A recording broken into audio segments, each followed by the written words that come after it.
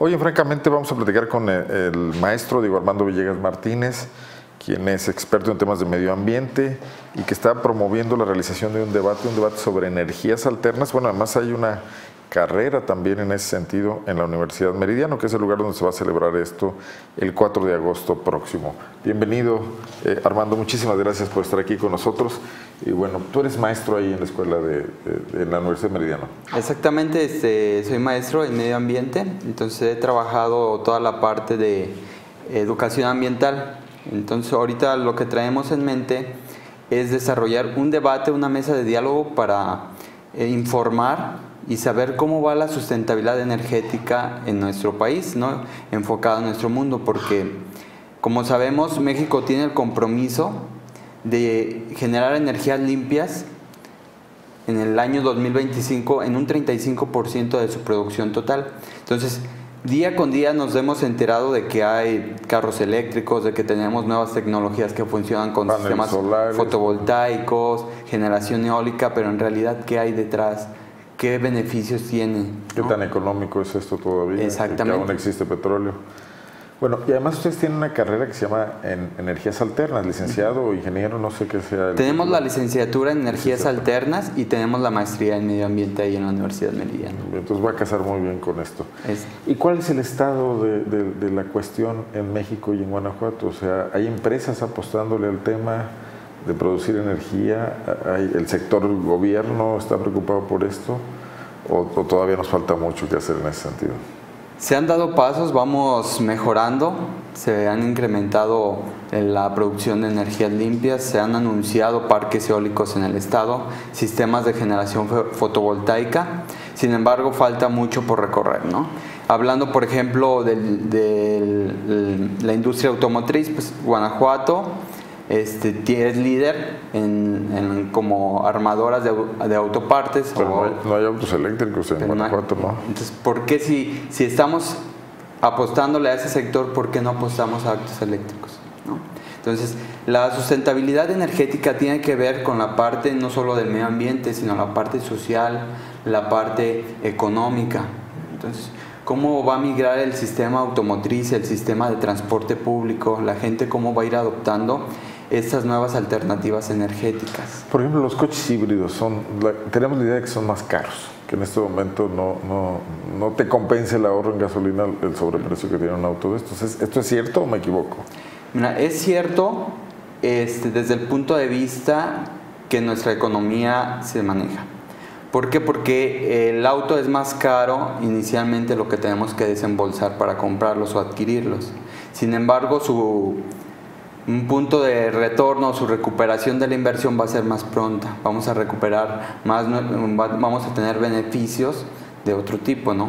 Este, y eso se lleva porque no, porque aquí no los generamos. Sistemas fotovoltaicos, por ejemplo, Guanajuato es uno de los estados que tiene ma- mayor radiación solar, que son muy aprovechables, son muy eficientes colocar paneles Dice fotovoltaicos. que San Luis de la Paz es uno de los lugares más soleados de México, Así con, es. con más días de sol. Pues en los 70 se trató de establecer ahí una planta, todavía como algo muy experimental, que parece no cuajó. Sí, por ahí hay varios parques ya que se están proyectando. Este Celaya tiene- eh, es uno de los estados de nuestra república que es de los pocos que realizan fotoceldas.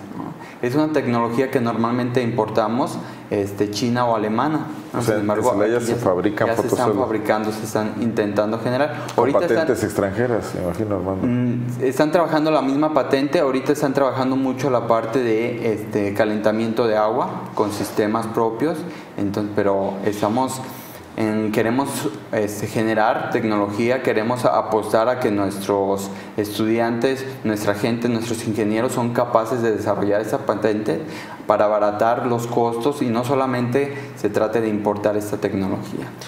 Por ejemplo, el gobierno le apuesta mucho luego a los, a los calentadores solares, regala muchos calentadores solares en sus programas sociales. Pero alguien me decía, pero bueno, los ponen donde no hay agua, ¿no? Por ejemplo, o no hay agua entubada. Eh, ahí lo también suena ilógico, ¿no? Sí, es la parte que tenemos que abordar que es, es un sistema este, de sustentabilidad, lo tenemos que aunar con todo lo demás, ¿no? O sea, sí te va a remediar una situación de agua caliente, pero esa agua caliente pues no la vas a poder calentar si no la tienes agua. La vas a poder aprovechar, pero no solamente también en, esos programas sucedía que se los entregaban en la caja a las señoras o a, a las jefas de familia o a quien iba dirigido al apoyo. Y luego íbamos y nos decían, bueno, y quién me lo va a instalar, cómo lo voy a poner, hacia qué orientación va. Implica un gasto. Oye, yo mi, mi techo es de lámina, ¿dónde lo voy a poner? ¿No? Entonces, este, hay buenos programas sociales y qué bueno que están apoyando, sin embargo tiene que ver eh, ese, ese complemento, ¿no? De que sea eficiente en todo lo que están apostando. Si no propicias cosas como el coyotaje, hay un mercado negro de calentadores solares, de gente que les compra a los beneficiarios de estos programas sociales y luego los vende en otras partes, ¿no? Que esa es también otra situación. Bueno, y todo esto se va a hablar en este panel, sí, abierto a todas las ideas. Precisamente es lo que queremos abordar, dar a conocer primero los diferentes tipos de energías que existen. En realidad nuestro planeta pues es energía, ¿no? Nosotros somos energía, entonces la energía está presente en cualquier cosa y lo único que hacemos es transformarla. Entonces vamos a ver qué maneras son eficientes de transformarlos, a qué costos, ¿no? Este, no es lo mismo este, transformar energía eólica a energía eléctrica que transformar energía hidráulica, ¿no? Entonces, ¿qué costos, qué beneficios, qué riesgos, ¿no? ¿Qué periodos de vida? Entonces, tenemos que ver, este, o tenemos, es lo que se va a tocar en este panel, precisamente es eso, ¿no? ¿Qué beneficios tiene? ¿Qué tan sustentable sería? ¿Cómo lo acepta la sociedad? ¿Cómo lo tenemos que vender? ¿Qué recursos necesitamos? ¿A qué le podemos apostar? ¿Quiénes participan en el debate? ¿Alguien expone y luego está abierto a preguntas? ¿O hay varios panelistas? ¿Cómo lo vas a desarrollar? Sí, existen siete expertos en, energías y medio ambiente. Cada uno va a defender un tipo de energía. compartir los nombres de los asistentes al, panel?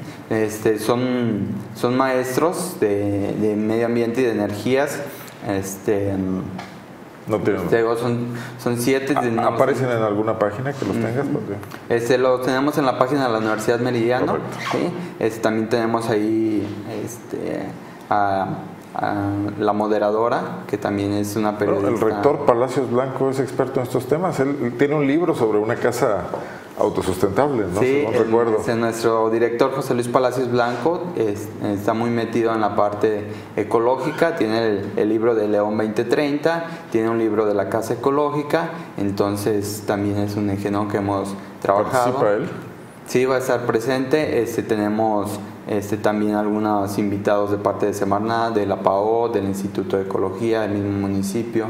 Entonces, mm, pero está abierto a que la gente vaya, conozca, aprenda, se interese. Eh, de estos temas, alumnos que tengan la inquietud de conocer estos temas, empresarios, ¿no? Y sabemos que la energía, bueno, cabe en cualquier profesión, en cualquier tipo de industria, ¿no? Lo que buscamos con la eficiencia energética es reducir costos, ser eficientes en la utilización de, factores energéticos y que tengamos sobre todo este, una sociedad más amigable con el ambiente, ¿no? disminuir nuestra huella de carbono, que es uno de los principales problemas que estamos enfrentando como, como humanidad, ¿no? Porque muchas de las veces creemos que tenemos que salvar nuestro planeta, pero en realidad tenemos que salvar al ser humano, ¿no? El ser humano... El planeta va a sobrevivir. El, planeta va a sobrevivir, pero nosotros necesitamos ciertas condiciones para poder habitar este planeta.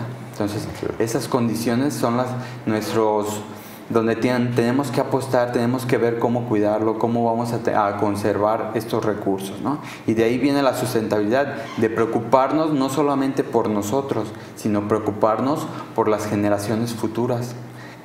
A veces también nos dicen, oye, ¿qué, qué mundo le vas a dejar a tus hijos? Y también tenemos que pensar qué hijos le vamos a dejar a nuestro mundo. Entonces todo está este, encadenado, todo está enlazado, ¿no? Esa es la sustentabilidad, saber de que estamos dentro de un ciclo, que sabemos que somos parte de un contexto, de un todo. Muy bien. Y el sábado 4 de agosto es el es Sí, los esperamos ahí. ¿Dónde va a ser? Digo, ¿dónde? En la Universidad Meridiano. ¿A qué horas? Va a ser a partir de las 9 de la mañana y en la Universidad Meridiano. Los esperamos. Va a estar abierto. Varias horas. Sí. Esperamos la participación de varios, contestar preguntas y, y avanzar todo lo que podamos. Este, es completamente gratuito y bueno, pues ahí los esperamos. Muy bien. Quien quiera aprender más de energías alternas, de energías sustentables, pues ahí habrá la oportunidad de discutirlo, de preguntarlo, de interrogar a los expertos. Yo le agradezco mucho a Diego Armando Villegas Martínez que nos comparta la información. Sábado 4 de agosto, 9 de la mañana, Universidad Meridiano. Muchísimas gracias. Y un saludo al director José Luis Palacios Blanco también. Gracias. No, gracias. Regreso en un momento.